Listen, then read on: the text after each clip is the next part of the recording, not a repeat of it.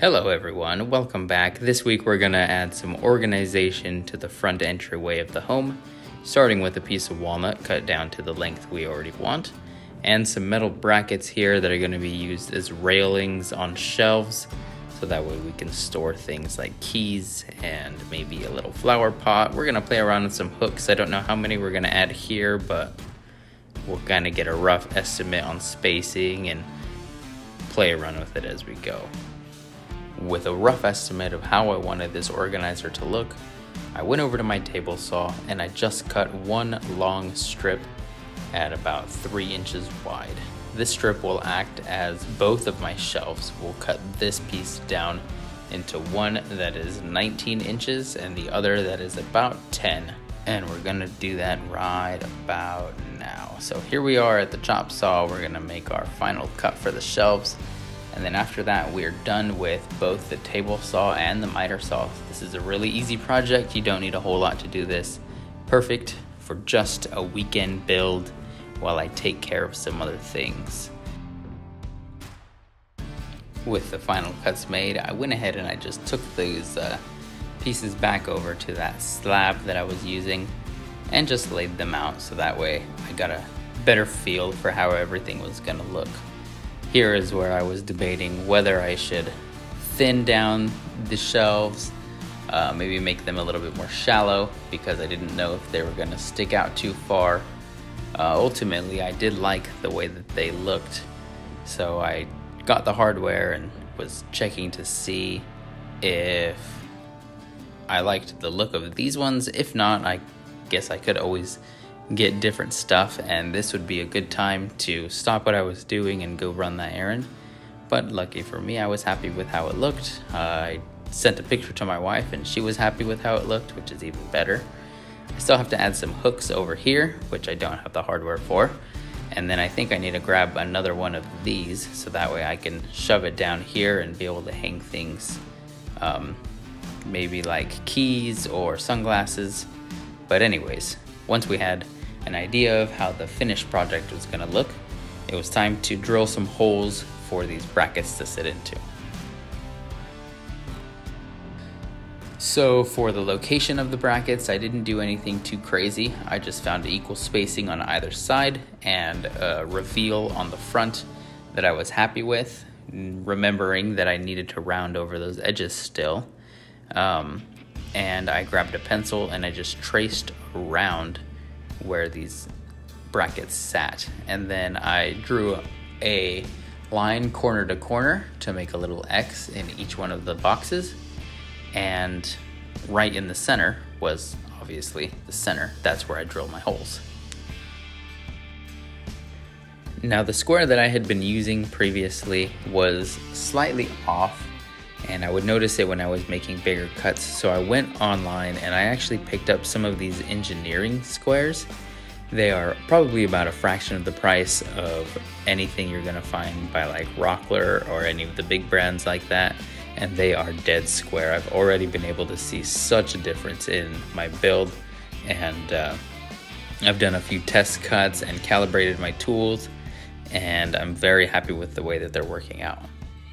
I also found this little guy that is just a handheld drill press since I don't have the room in my shop for a large one uh, this just attaches to my drill, um, just my power drill, and I can use it essentially the exact same way.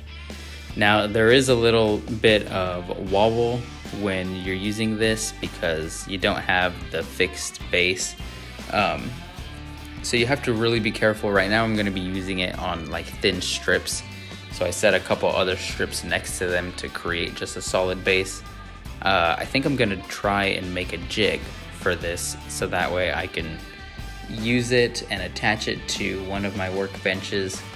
Um, and then I don't have to worry about that side to side play and I can use it on small pieces like this without having to do a janky little table next to it.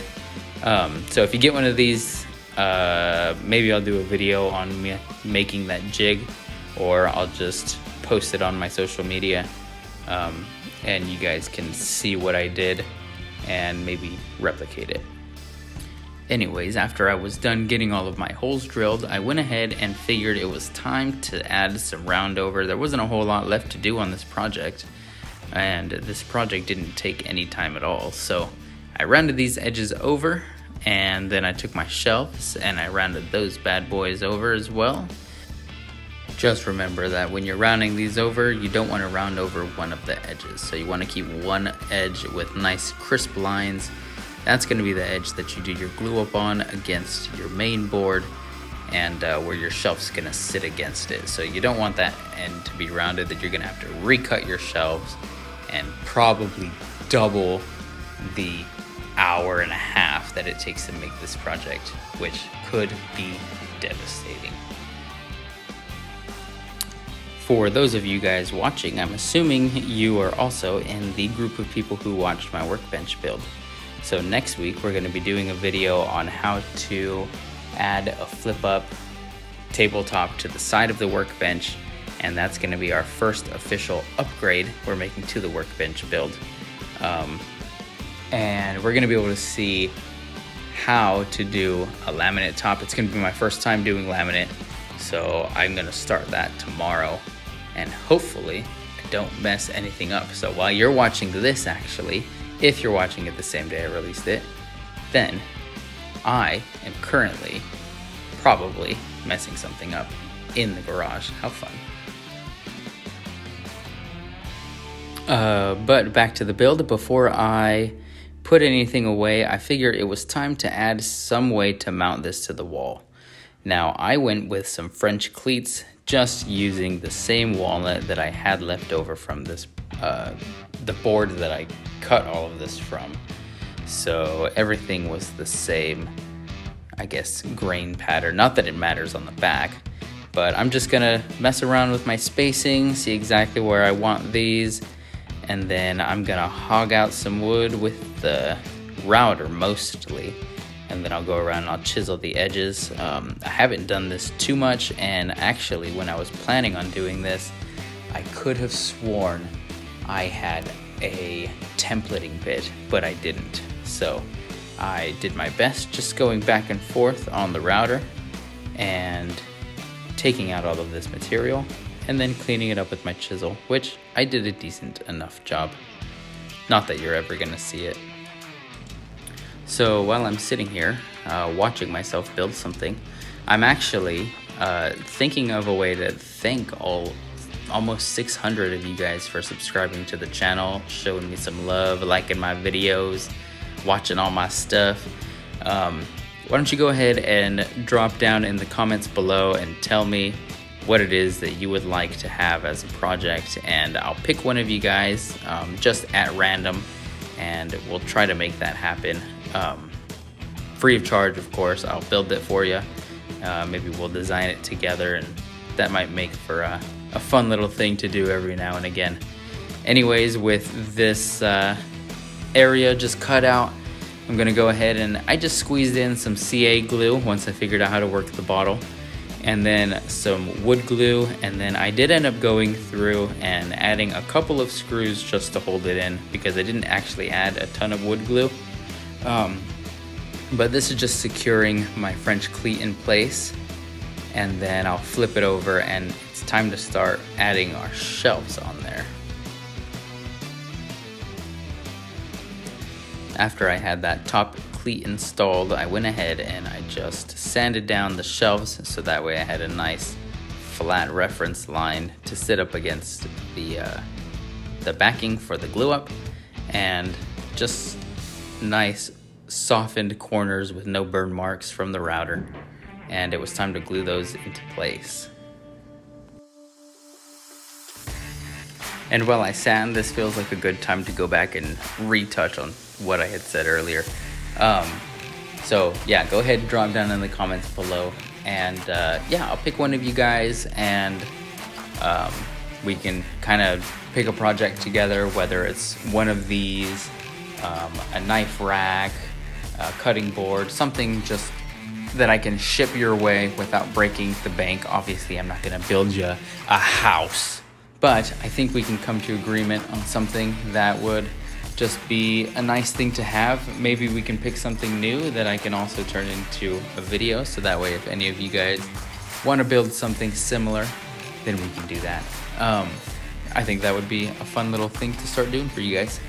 If it ends up being successful, maybe we can do it every, I don't know, couple months or so. Now, going back to the build, um, for the placement for the shelves, I did the exact same thing that I did for the um, for the cleat. Was I added just a bit of wood glue, um, a couple drops of CA glue, so that way it can work as a clamp. And then I did end up going again to the back and uh, putting a couple screws. Now I wasn't gonna do this originally um, see, I just use my square to make sure my shelf is nice and straight the whole length. Um, I wasn't going to add any screws, but then my wife had told me, oh, that's such a nice little shelf that I can add a flower pot. So then I didn't know how crazy she was gonna go as far as adding things on there. So I figured the more strength, the better. The screws are gonna be in from the back. You're never gonna see them. Better safe than sorry. So got that first shelf installed, got the second shelf installed, just using the exact same thing, using my square to keep everything, you guessed it, nice and square. Um, and then, yeah, just adding screws to the back, which I didn't actually end up filming because I wasn't originally going to do. But if you've seen screws installed, you probably can guess how I did it.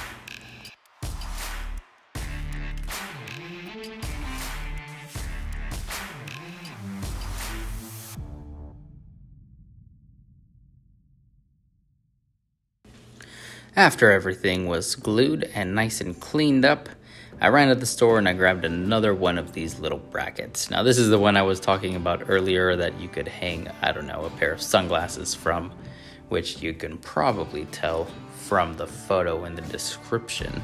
That's how it's being used. And I drilled some holes. Now this would have been nice to do before I sanded, but with the tape there, it didn't create any blowout, and now we can see how this thing is actually starting to look. Still need to add the um, hooks, so let's go ahead and do that now. I got these nice, easily removable hooks. Um, I didn't like the screws that came with it, so I had to add my own because the other one would have gone all the way through the piece, and we can't have that. So I just place one uh, make sure it lines up nice and straight with my reference line. I grabbed a self-centering bit because this can save your life when you're trying to add hardware and keep it nice and square without moving side to side. Um, and then I drove my screw in and these hooks were actually really cool. Um, they just slid right onto that little mount and that's it. After that, you can just pop them back up to take them off, which I did for the finish.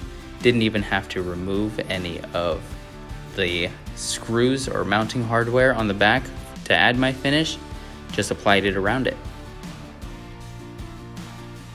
These hooks did end up being a little bit more bulky than I would have liked.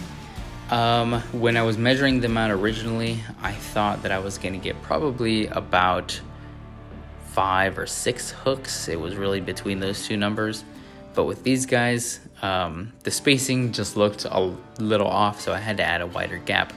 This means that I only ended up with four, but when it was all said and done, it ended up coming out quite nice. Um, I have one hook that's not even being used, so didn't need it.